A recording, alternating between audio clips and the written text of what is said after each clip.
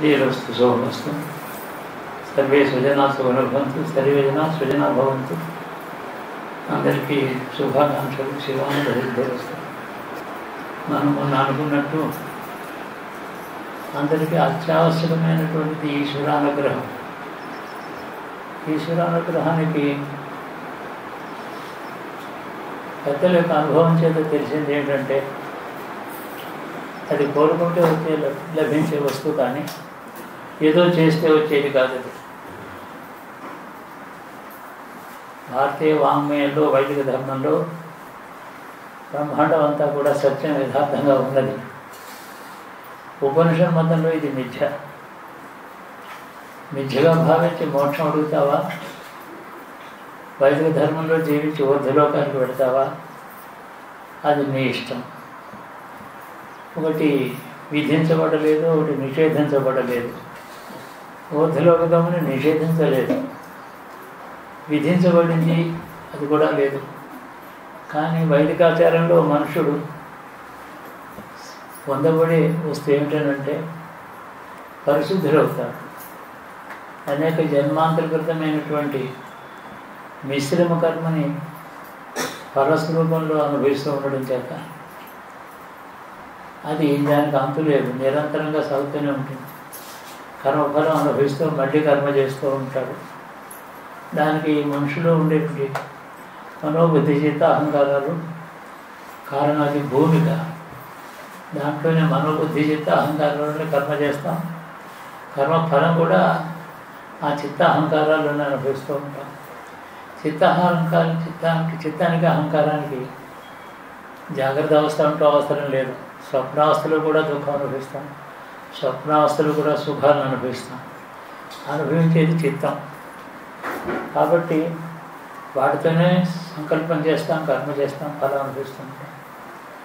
ఇది నిరంతరంగా కొనసాగుతున్నటువంటి జన్మ పరంపరలోంచి ఎప్పటికైనా ముక్తిని కోరుకో అని పెద్దలు చెప్పారు. ఆ జన్మ పరంపరలోంచి ముక్తిని కోరడం అంటే ఆ కోరడానికి కొంత సంస్కారం కావాలి. అది కొన్ని జన్మలు గడిచిన తర్వాత వచ్చే సంస్కారం అది. ప్రారంభ దశలో ప్రతివాడికి లభించేది కాదు. అందుకని శుభేచ్ఛ అని పేరెట్టారు కోరుకోదగిన కోరిక అదొకటే అని పెద్దల అభిప్రాయం. అయితే అది అంకురిస్తుంది ఒకనాడు. ఎప్పుడు అంకు ఎప్పుడు అంకురిస్తుంది? బాగా సుఖాలు తృప్తి తీరా అనుభవించిన తర్వాత తృప్తి కలిగిన తర్వాత కూడా వైరాగ్యం రావచ్చు. లేకపోతే అభావ విరక్తి అని ఒకటి ఉంది. అన్ని కష్టాలు వచ్చి ఏ కష్టాల నుంచి తొలిగే మార్గం కనబడకపోతే విరక్తి కలుగుతుంది. కానీ అది ఆరోగ్యకరమైనటువంటి విరక్తి కాదు. తృప్తిలోంచి వచ్చిన విరక్తి గొప్పది. కానీ తృప్తి కలగాలంటే ఏం చేయాలి? మనుష్యకృతమైనటువంటి శుభకర్మలు పుణ్యం వల్ల వచ్చేటువంటి సుఖాలు చాలా ఉన్నప్పటికీ కూడా మనుష్య కర్మలో తెచ్చినటువంటి సుఖాలు కాబట్టి మళ్ళీ పుణ్యం సంపాదించి మళ్ళీ కర్మలు చేసి ఇంకా సుఖం సంపాదిద్దామని అనిపిస్తూ ఉంటుంది. అది సంపూర్ణంగా జీవుడికి తృప్తినిచ్చే విషయం కాదని పెద్దలు చెప్తున్నారు. మరి తృప్తినిచ్చే సుఖం ఏమిటి? ఈశ్వర అనుగ్రహం చేత వచ్చే సుఖం ఏదైతే ఉందో అది తృప్తినిస్తుంది. ఈశ్వర ప్రసాదంగా వచ్చినటువంటి సుఖములే సంతృప్తినిచ్చి ఇక చాలు అనిపిస్తుంది. అది పుణ్యఫలంగా వచ్చేటటువంటి సుఖాలకి ఈశ్వరుని అడుక్కుని తెచ్చుకున్నటువంటి సుఖాలకి పెద్ద తేడా ఈశ్వర ప్రసాదం జీవుడికి తృప్తినిచ్చి ముక్తిని శుభేచ్ఛకి హేతు అవుతుంది. అందుకని ఓ పక్కనే గృహస్థు గృహస్థ ధర్మంలో పుణ్యం చేస్తూ పుణ్యఫలంగా సంసార భావన వేస్తూ ఇంతేగాక ఈశ్వరుణ్ణి ఎక్కడైనా సరే ఎక్కడైనా యాచన చేయకూడదు. ఈశ్వరుడు ఉంటారు మాత్రమే యాచన చేయాలి. ఎంత ఏంది? ఎందుకంటే ఇంద్రుడు బ్రహ్మ బ్రహ్మ కూడా ఈశ్వరుడు అందరు యాచకులే.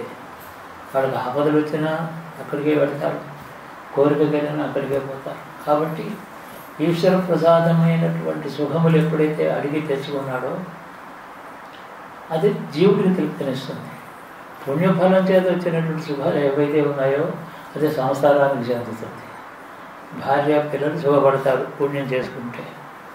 ఈశ్వర ప్రసాదంగా సంపాదించుకునేది ఏదైనా ఉండేటట్టయితే జీవుడు తృప్తినిస్తుంది జీవుడు ఒకడు సంసారం. ఈ రెండుగా ఉన్నాయి. విశ్లేషణ బాగా చేసుకున్నట్టు శంకరాచార్య మొదలైన వాళ్ళు మహాత్ములందరూ కూడా ప్రబోధం బాగా చేశారు. కాబట్టి ఈశ్వరారాధన చేసుకుంటూ నాకు తృప్తిని ఇవ్వని అడగడం సుఖాన్ని ఇవ్వమని అడగడం కంటే కూడా తృప్తిని ఇవ్వమని అడగడం చాలా వివేకం. పుణ్యం సంపాదించుకుంటూ ఉంటే ఇంత గుప్పుడు అన్న ఎవరికైనా పెడితే అందులో ప్రతి మెతుకు కూడా ఇన్ని ధాన్యంగా మళ్ళీ ఇంటికి వస్తుంది. పుణ్యానికి అధికమైన ఫలం ఇస్తాడు. ఈశ్వరుడు అది సృష్టిలో నిర్ణయం అలా ఉంది. పొలం దున్నుకునే రైతు ఒక గుట్టడి ధాన్యం ఎకరం నేలలో వేస్తే ఒక్కొక్క గింజ ఒక్కొక్క మొలక మొలిచి ఒకే మొలకలో రెండు వందల గింజలు వస్తున్నాయి. వేసింది ఒక గింజే కానీ మొలక మొక్క మొలక రెండు వందల గింజలు వస్తున్నాయి. అంటే ఎత్కించింది దాతృత్వం చేత కూడా అధికంగా నీకు వస్తుంది. అది ప్రకృతిలో ఉంది అన్నమాట ప్రకృతి ఎందువల్ల చేస్తుంది? ప్రకృతి అంతా కూడా జడం కాదు. చైతన్యవంతం. ఏదైతే జడ పదార్థంగా కనిపిస్తుంది కానీ చైతన్యవంతం కాకపోతే ఒక మొలకలోంచి వృక్షం వృక్షంలోంచి ఫలము ఎలా వస్తాయి? ఈ చైతన్యం ఎవరిది? ఈశ్వరుడు యొక్క చైతన్యం. కాబట్టి ఈశ్వరుడు యొక్క అనుగ్రహం చైతన్య రూపంలో అంతటా వ్యాపించి ఉంది కాబట్టి ఏది అడిగితే అది లభిస్తుంది. ధనమే అడుగుతాడు. బాగానే ఉంది. ధనం వల్ల తృప్తి వస్తుందని. వివేకవంతుడు ధనం ఎందుకు నాకు తృప్తినే నేరుగా ఇమ్మని తృప్తిని అడిగినప్పుడు వాడు వివేకవంతుడు. అంటే సుఖాలు రావాలి సుఖాలు అనుభవించాలి తర్వాత తృప్తి కలగాలి ఎందుకు ఇదంతాను ఈ మార్గం సంసారాన్ని వర్తిస్తుంది. పుణ్యం సంపాదించి ధనం సంపాదించి. భార్య వాడిని పోషించుకుంటే ఈ భార్య ఎవరు? పూర్వజన్మంలో మనం ఎవరికైతే రుణం ఉన్నామో వాళ్ళే ధారాపుత్రులుగా వచ్చారు.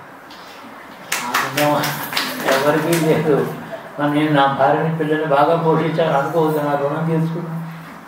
మాకు బాగా ఇచ్చారు అనేక రకాలుగా రుణం తీరుతారు. కొడుకులు తగులాడి తండ్రి దగ్గర ఎవరాడి ధనం తీసుకుపోతారు? వాడు రుణమే వసూలు చేసుకున్నాడు. మన దగ్గర నుంచి చౌర్యం చేసిన వాడు కూడా మన బాకీ తీర్చుకుంటున్నాడు. అలా భావం కనుక ఉండేటట్టయితే నా ధనం వాడికి ప్రాప్తం ఉంది. నేను వాడికి బాకీ ఉన్నాను. నేను అడిగితే ఇవ్వలేదు కాబట్టి దొంగతనం చేసి తీసుకున్నాడు. అనుకుంటే శాంతి కలుగుతుంది. అశాంతి దుఃఖం కోపం క్రోధం ఏమి రావు. వాడు ఎక్కడైనా పట్టుకున్నాడు తాను తాను అవసరం లేదు. ఎందుకంటే మన దగ్గర ఉన్నది మనం దానం చేయనిది అనుభవించనిది ఏదైనా ఉంటే కొంత ఎవరికో వెళ్ళిపోవచ్చు. ఇవన్నీ దీనికి ఒక రూల్ ఏం లేదు. గాలి ఎలాగ ఈ గదిలోకి ఈ ఈ గుమ్మలోంచి వచ్చి ఆ గుమ్మలోంచి పోతుంది. ఇల్లు నేను కట్టుకున్నాను కానీ గాలి నాది కాదు. నా రూమ్లోకి వచ్చింది కాబట్టి గాలి అలా వీల్లేదు. ధనం కూడా అంతే. నీరు అంతే. ధనం అంతే. భోగాలు అంతే.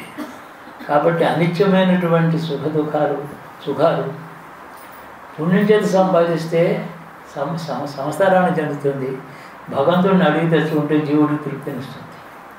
తృప్తిని అడిగితే అంటాడు సో మహారాజు దగ్గరికి వెళ్ళాను. చాలా వాళ్ళు చాలా ఇచ్చారు నాకు. హరితరాంభో జాక్షి చతురంతయాన తరవి భూషాలు ఆత్మకథ చాలా ఇచ్చారు. దాసదాసి జనాలు ఇచ్చారు పళ్ళకేళ్ళు ఇచ్చారు ఏనుగులు గుర్రాలు ఇచ్చారు. కానీ అవన్నీ ఆత్మవ్యధకి కారణమైన. ఆత్మవ్యధ ఎందుకు వచ్చింది?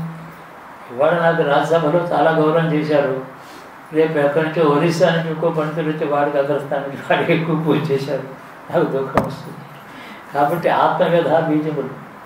చాలు పరితృప్తి చెందుతుంది ఇక తృప్తి అయిందిలే మహారాజు ఎప్పుడు వెళ్ళను తత్ పదసేవాసక్తే కాక నీ పదసేవ ఎందు నాకు ఆసక్తి కలిగిందంటే ఇంకా శాంతి.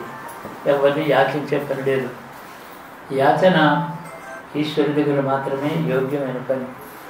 బ్రహ్మ కూడా యాచన యాచకుడే అక్కడ ఇంద్రుడు యాచకుడే దేవతలు యాచకుడే కాబట్టి ఆయన దగ్గర ఈశ్వరుడి దగ్గర అడగడానికి నామోషి అక్కర్లేదు. ఎవరి దగ్గరికైనా వెళ్ళి అడగడానికి కాబట్టి ద్రవ్యం అనేటటువంటిది మన నుంచి ఇంకో వెళ్ళడం అనేది దుఃఖహేతు కాకుండా చూసుకోవాలి. దుఃఖం క్రోధానికి హేతు కాకుండా చూసుకోవడం చాలా మంచిది. దానివల్ల శాంతి కలుగుతుంది. కొంతకాలానికి మనం ప్రాక్టీస్ చేయడం ఉంటారు దాన్ని.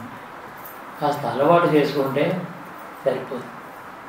ఎందుకంటే నా దగ్గర ఉన్న ధనం వాడు అపహరించాడు మరి నా దగ్గరికి ఎక్కడి నుంచి వచ్చింది? ఎక్కడి నుంచి వచ్చావు కదా? నా దగ్గరికి ఎలా వచ్చిందో నా దగ్గర కోడిపోయింది కాకపోతే నేను ఇక్కడే ఉన్నాను ఇలా ఒక గాలిలాగా వస్తాను పోతుంది ఆ తాత్కాలికమైనటువంటి అవస్థాభేదంగా రాకపోకలను చూడడం చేత మనిషికి వివేకం కలుగుతుంది. వివేకం మనం అడగాలి? తృప్తిని మనం అడగాలి? వీటన్నిటికంటే ముఖ్యంగా సంసార జీవితంలో గృహస్థికి వైరాగ్యబోధ చేయలేదు ఆ మాట గుర్తుపెట్టుకోండి. న్యాయ న్యాయార్జితమైన ధనంతో భార్యాపుత్రులను జొగబెట్టు మంచి భోజనం చేయి మంచి బట్ట కట్టుకో మంచి ఇంట్లో ఉండు. దోషం కాదు.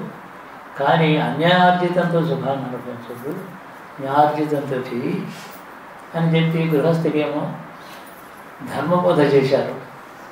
కొంతకాలం అయిన తర్వాత వార్ధక్యం మనువృత్తినా యోగేనాదే వచ్చేసాం కాళిదాసు రెండు మాటలు చెప్పేశాడు సంసారం అంతా అయింది. రాజ్యాన్ని ఏలినటువంటి రాజు అయినా కావచ్చు సంసారంలో పది బిడ్డల్ని కానీ వాడి పెళ్ళి చేసి సుఖంగా వాళ్ళు స్థిరపడ్డాక చాలు అని అనుకొని వార్ధక్యం వచ్చింది. మునివృత్తి అన్నాడు. మునివృత్తి అంటే పూర్వకాలంలో అడవుల్లోకి వెళ్ళి తపస్సు చేసుకునేవారని అంటారు. మహర్షులు మాత్రమే కాక మహారాజులు కూడా అలాగే వెళ్ళారు. కాళిదాస్ చెప్తున్నాడు ఈ మధ్య ఈ మాట.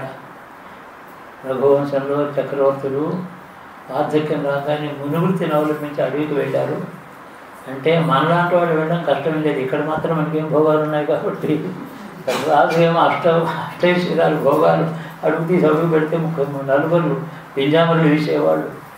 అవి వదులుకుని వెళ్ళారు వాళ్ళు చాలా గొప్పవాళ్ళు. అంత భోగాలు వదులుకుని వెళ్ళడం చేత దేశంలో సమాజానికి రాజు ఆదర్శం.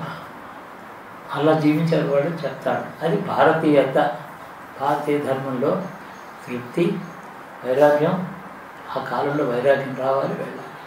దుఃఖం చేత వైరాగ్యం రానివ్వద్దు. దుఃఖం వస్తే మళ్ళీ యుద్ధం చేయండి. మళ్ళీ పుణ్యం సంపాదించుకోండి. ఈశ్వరుని ఆరాధించండి. తపస్సులు చేయండి. వ్రతాలు ఆరంభించండి. సుఖాలు వచ్చేదాకా ఉండి అనుభవించి చాలని అనుకున్నాడు ఇది చెప్తున్నారు పెద్దలు. అన్నిటికీ ధర్మం అనే మాట ఏంటంటే ప్రతి అవకా ప్రతి చోట ప్రతి మనిషికి ఒక్కొక్క అవస్థలో ఒక ధర్మం ఉంది చిన్నవాడికేమో చదువుకోవడం ధర్మం విద్యార్థిగా గురువుని సేవించడం ధర్మం. ఆ తర్వాత భార్యాపుత్రులతో వాళ్ళని పోషిస్తూ సుఖంగా ఉండడం ధర్మం. ప్రతి వ్యక్తికి కూడా మనకి వర్ణాశ్రమ ధర్మం అని ఒకటి కలిపి అంటూ ఉంటాం. వర్ణ ధర్మం వేరు ఆశ్రమ ధర్మం వేరు. వర్ణం అంటే నీవు బ్రాహ్మడివి పుట్టావా? ఓహో కాశీ గోత్రంలో పెట్టావా? వేదం బాగానే ఉంది. ఇతరులకేమో విద్య దానం చెయ్యి. శ్రౌ శౌచం అవలంబించు అది విధి. అదే అలాగే క్షత్రియుడై పుట్టావా? పరాక్రమం సంపాదించు హస్తవిద్యం సంపాదించు ధనం సంపాదించు దేశాన్ని రక్షించు. పేదవాళ్ళు అశక్తులు బలహీనులు ఉన్నారు స్త్రీలు శిశువులు వృద్ధులు వాళ్ళని రక్షించు. వయసులో పుట్టావా? అంటే ధనార్జన చేసావా? బాగా సంపాదించు. బ్లాక్ మార్కెట్ చేయమని కాదు. న్యాయంగా సంపాదించమని. సంపాదించిన తర్వాత అంతా నాదే అని అనుకోవద్దు. ఎందుకంటే ప్రజల నుంచి కదా నీకు వచ్చింది ధనం? వాళ్ళే దగ్గర నుంచి నీ దగ్గరికి వచ్చింది కాబట్టి మళ్ళీ కొంత భాగం వాళ్ళకి ఇవ్వాలి. పేదవాడు ఉన్నాను సంపాదన చేతలేని వాడు నువ్వు వయసు తర్వాత వా ఈ రైతుగా పుట్టావా? భూమికి సేవ చేయి. తద్వారా సమాజానికి సేవ చేయి. రుణం తీరుతుంది. ఒక రైతు తీసుకునే రుణం కోటీశ్వరుడు కోటి దానం చేసిన రైతు తీసుకునే రుణం అన్నిటికంటే గొప్పది. శరీర శ్రమతో ఆ నాగలి పట్టుకు దున్ని మోసుకొని ఆ ధాన్యం అంతా చేసి మనం కడుపుడా తింటున్నామంటే రైతు పెట్టాడు. వాడు చేసుకునే పుణ్యం ఉందే వాడు తీసుకునే రుణం ఉందే ఎవడు తీసుకోడు. అందుకని వాణిజ్యం తర్వాత వ్యవసాయానికి ఈ కలియుగంలో ప్రారంభంలో బలరాముడు కృష్ణుడు ఇద్దరు ఉన్నారు. మనకు బాగా తెలుసు వాళ్ళు. కృష్ణుడేమో గోసేవ చేసి పశుపాలకత్వం చేశాడు. నాగలి పట్టుకుని వ్యవసాయం చేశాడు బలరాముడు. ఈ యుగంలో ఈ రెండే భారతీయ ధర్మాన్ని వాడు మనకు చెప్తున్నట్టుగా ఉంది. కాబట్టి ఈ రెండింటిని భక్తితో ఆరాధించి నేను భారతీయుడినైనా గుర్తుపెట్టుకుంది వేదం అనేది ఉందే. వేదం అగ్రవర్ణాన్ని ఎవరికి బ్రాహ్మడికి ఏది చెప్పిందో వాణిజ్యంలో ఉండేవాడికి ఏ ధర్మం చెప్పిందో రైతుకి ఏ ధర్మం చెప్పిందో సన్యాసికి ఏ ధర్మం చెప్పిందో యాచకుడికి ఏం ధర్మం చెప్పిందో గృహస్థికి ఏ ధర్మం చెప్పిందో మీరు ఏదైనా నేను ఏమిటని మీరు ప్రశ్న వెళ్ళి వేదంలో అడిగితే నీకు ఏ ధర్మం చెప్పింది? అది చెప్పనటువంటి ధర్మం లేదు. అందరికీ అన్ని ధర్మాలు చెప్పింది వర్ణ వ్యవస్థ అనే దాంట్లో వ్యత్యాసాలు కలగవచ్చు కానీ వ్యక్తి ఎప్పుడు ఏదో ఒక ఆశ్రమం చెందే ఉంటాడు. ఏ వ్యక్తి అయినా ఏ కాలంలోనే ఏదో ఒక వర్ణానికి చెంది ఉంటాడు. గుణకర్మ విభాగం. గుణం చేత వర్ణాశ్రమం చెడిపోయిందని లేదు. వర్ణాశ్రమం మన అనుకున్న పద్ధతిలో లేదు. వ్యక్తి తన ఇష్టం వచ్చిన వర్ణంలో చేరుతున్నాడు గుణం చేత. అంతే తేడా. ఒకడు సామాన్యమైన జీవితంలో పుట్టే ఉత్తమ బ్రాహ్మణుడు అయ్యాడు వాడు గుణం చేత. కాబట్టి వ్యక్తి గుణకర్మ విభాగ కాబట్టి గుణకర్మల చేత తన ఇష్టం వచ్చినటువంటి వర్ణంలో చేరుతున్నాడు తల్లిదండ్రుల వర్ణం అని కాదు తన ఐచ్ఛికంగా సంపాదించుకున్న వర్ణం ఎప్పుడూ ఉంటుంది. కర్మలు ఎప్పుడూ ఉంటాయి. భారతీయ ధర్మాన్ని మనం గుర్తుపెట్టుకొని పెద్దల దగ్గరికి వెళ్ళి సందేహాలు నివారణ చేసుకుని పురాణం చదువుకుంటే ఎన్నో కథలు. పురాణం ఏమో ఉపబృహితమైనటువంటి ధర్మం అది వేద ధర్మం ఉప ఉపబృహితం సామాన్యమైన భాషలో వేద ధర్మం మనకి చెప్పింది పురాణం. కాంతా సంహితయా అన్నారు. కాంతా సంగీతం అంటే ఏంటి ధర్మశాస్త్రాలు. మరి యాజ్ఞవర్గ స్మృతులు అవి చదివితే మనకి బాగుంటాయా? కష్టం. అందుకని ఏం చేయాలంటే పురాణం చెప్తుంది పురాణం ఎలా చెప్తుందంటే కాంతా సంగీతం గట్టిగా కోపడితే భర్త ఇస్తాడా? ఆయన భోజనం చేశాక తాంబూలం చేతులు పెట్టి ఏమండి నేను చిన్న మాట చెప్తాను. అని అంటే అప్పుడు ఏం చెప్పినా వింటాడు. ఇష్టం లేని మాట కూడా వింటాడు. పురాణం అలా చెబుతుందిట. శాసించి కోప్పడి చెప్పకుండా నైస్గా చెప్తుంది పురాణం చదవాలందరూ. శాస్త్రాలు మీరందరూ చదువుతారా నేనే నాకే రాదు. కాబట్టి పురాణం చదివితే శాస్త్రార్థం తెలుస్తుంది. శాస్త్రార్థం అంటే ఏంటంటే వేదార్థం. వేదం ఏం చెప్పిందో శాస్త్రం చెప్పింది శాస్త్రం చెప్తుంది పురాణం చెప్తుంది. అందరికీ మనకి దగ్గరగా వచ్చింది మన ఇంట్లో వచ్చింది వేదం. పురాణం చదవాలి. పురాణం చదివితే వ్యత్యాసాలు ఉంటాయి వేదాలు ఉంటాయి అతిశయోక్తులు ఉంటాయి. అవన్నీ కాదు మనం చూడవలసింది. పరమార్థం ఏ కథ చెప్పారు? ప్రతి ధర్మానికి ఒక కథ. భీష్ముడేమో అంబసే మీద ఉంటే తాత నీకు కష్టంగా ఉంది ఆయన సందేహాలు అడుగుతున్నానని చెప్పి ధర్మరాజు వెళ్ళి ప్రతి చిన్న విషయం అడుగుతాడు. ఆయన ధర్మరాజు మూడు వందల పేజీల నుండి అవే ప్రశ్నలే.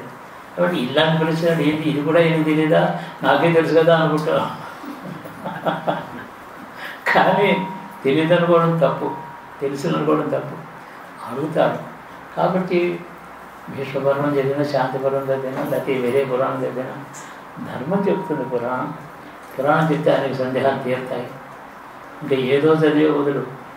నవలలు చదివి. మన భారతదేశంలో నవలలు లేవు అసలు. నవల అనే మాట కల్పిత గాథ. అది లేదు. మన సంస్కృతిలో పురాణం ఉంది. పురాణం కల్పిత గాథ కాదు పురాణం చరిత్ర. విధంగా ఈ దేశంలో ఒకనాడు జరిగిన విషయములు సర్గస్వ ప్రతిసర్గస్వ వంశం మన్వంతరాన్ని వంశాన్ని చరిత్రది పురాణం పంచలక్షణం. వంశాన్ని చరిత్ర సర్గ సృష్టి ప్రతి సృష్టి. వంశములు మన్వంతరాలు. వంశం మన్వంతరాలు. వంశాన్ని చరిత్రం చేతి ఏమిటి? ఎవరి వంశం? మొదటి వంశం ఏమో మహర్షుల యొక్క పరంపర. రెండోదేమో దేశాన్ని ఏలినటువంటి రాజవంశముల యొక్క చరిత్ర. రెండు కూడా చెప్తుంది. అంటే అర్థం చరిత్ర చెప్తుంది కానీ కల్పించను కాదు చెప్పడం లేదు. పురాణం పురాణం చదవలసింది. అన్ని సందేహాలు తీరుతాయి. కాబట్టి ప్రతి ఇంట్లోనూ కాస్త భారతం తెలుగు వచనలు. అసలు చాలా పూర్వం ఏంటంటే చందమామ కథల వల్ల అందరికి పురాణం తెలిసింది ఈ ఊళ్ళో. అంత పురాణం చదవడం మానేశారు. చందమామ పిల్లల కోసం కథలు చెప్పాడు. ఓహో మహాభారతం రామాయణం. అది పురాణం ప్రతి ఇంట్లోనూ నాలుగు పుస్తకాలు ఉండాలి చదవాలి. కొంతకాలం ఒక గంట అయినా ఈశ్వరుని గురించి ఒక పది నిమిషాలైనా ఉదయం మధ్యాహ్నం సాయంకాలం ఎన్ని పనులు ఉన్నా ధ్యానం చేయవచ్చు. నామస్మరణ చేయాలి నిరంతరం నామస్మరణ చేయవచ్చు. పురాణ శ్రవణం మననం చేస్తూ ఉండవచ్చు. ఎప్పుడూ చేతనైన పుణ్యం చేస్తూనే ఉండాలి. పుణ్యం చేస్తే ధన నష్టం ఉండదు. అది గుర్తుపెట్టుకోండి. ఎప్పుడు పుణ్యం చేసేవాడికి నష్టం ఉండదు. పుణ్యం చేయకపోవడం చేతే వెళ్ళవలసింది అపసవ్యంగా వెళుతుంది అంతే గుర్తుపెట్టండి చాతనని ఇప్పుడు నుంచి ఉన్నదంతా ఇచ్చేయగలిగితే అది త్యాగం. త్యాగం అయిపోయిన అమృత మానసు త్యాగం చేస్తే మోక్షమే వస్తుంది. దానం చేస్తే పుణ్యం వస్తుంది. ఉన్న దాంట్లో కొంచెం ఏం కష్టం కాదు. భారతీయ ధర్మంలో సుఖంగా ఉండొచ్చు. ఏదో ఇవాళ స్వతంత్ర ఉద్యోగం చేసుకున్నాం. స్వతంత్ర చాలా మంచి పండుగ ఇది. ఇవాళ భారతదేశం అంతా కూడా ఆవార గోపాలం. అనవసరాలు సమృద్ధిగా ఉండేటట్టు. అవినీతి లేని ప్రభుత్వం కావాలి. మనకని ఇవాళ దేవుని అడుగుతాం ఎందుకంటే యాజిటేషన్ వల్ల బస్సు తగలబడిన చేత గవర్నమెంట్ బాగుపడుతుందా? భగవంతుని అడిగితే మంచిది. ఏదో అరవై ఐదేళ్ళు అయింది ఏదో అయింది మరి. అంతకుముందు బ్రిటిష్ ప్రభుత్వం కూడా చూశాను ఇంతగా లేదు అది ఇంతకన్నా బాగానే ఉండేది. నేను చిన్నప్పుడు ఇండిపెండెన్స్కి ముందుగాను గ్రాడ్యుయేట్ అవుతున్నాను నేను. అంత పెద్ద వయసు నాకు. అప్పటికే ఇరవై ఏళ్ళు వచ్చాను. కాబట్టి ఆ దేశం ఆ పరిపాలన చూశాను. అంత మాత్రం లేదు ఇప్పుడు. కాబట్టి ప్రజలు నీతి కావాలి అని ప్రభుత్వంలో నీతి కావాలని భగవంతుని అడిగితే మంచిది. ఆ ప్రార్థన ఎప్పుడు చేస్తూ ఉండాలి. నీతి ఉందంటే మన ఊరు బయట పేదలు ఉన్నారు చిన్న గుడిసెలో ఇది జొన్నలు ఉడకబెట్టడం జొన్న పిండి తిని బతుకుతున్నారు ఆ గుడిసె వెళ్ళి చూస్తే రేపటి భోజనం వాడికి ఎక్కడి నుంచి వస్తుందో తెలియదు. అలాంటి వాళ్ళు సుమారు ఈనాడు భారతదేశంలో ఇరవై ఐదు కోట్ల ఉంటున్నారు మనం ఐదు కోట్ల ఖర్చు పెట్టి దివ్యభవనం కట్టుకున్నాం. వర్షం వస్తే తడిసిపోయి చంటి పిల్లలతో సహా బాధపడుతున్నాడు వాడు. ఇది ఈ వ్యత్యస్తం ఉండకూడదు. చాతరిని దానం ధర్మం అందరూ చేస్తూ దేశం బాగుండాలి. ఇవన్నీ మన ధర్మం. కాబట్టి అందుకని ఏం చేసామంటే మనకి అప్పుడు స్వతంత్రానికి ముప్పై కోట్ల మంది ఉన్నాం అప్పుడు మనం. పాకిస్తాన్తో కలిసి. ఇప్పుడు మనమే నూట ఇరవై మూడు కోట్లు ఉన్నాం. అయినా అన్నం పెడుతోంది. ఎవరు పెడుతున్నారు? భారత మాత పెడుతోంది. అందుకని ఇప్పుడు శ్రీశాంతులు అంతరిక్షం శాంతి జ్యోతిశాంతి విధిశాంతి రవాణి శాంతి ప్రకృతి మనం రక్షిస్తోంది. ప్రకృతి మాతని తల్లిగా భూమిని తల్లిగా భావించి గౌరవించి కొన్ని దాంట్లో దానం చేస్తూ సజ్జనుడిగా భారతీయుడిగా జీవిస్తే ఇంకేం అక్కర్లేదు అందులో చాలా కర్మక్షయం అవుతుంది రుణక్షయం అవుతుంది సుఖంగా జీవించడానికి కదా కష్టం కాదు. ఎవడైనా మహారాజు అనుగ్రహం చాలా కష్టం కానీ ఈశ్వరానుగ్రహం కష్టం కాదు. అతి సులభంగా లభించే వస్తువు. దానికి పాండిత్యము కాదు తపస్సు కాదు యోగం కాదు భక్తి చాలు. ఈ మాటలు గుర్తుపెట్టుకుంటే అందరూ సుఖజీవనం చేయవచ్చు. శివో రక్షకు శివో రక్షకు శివో రక్షకు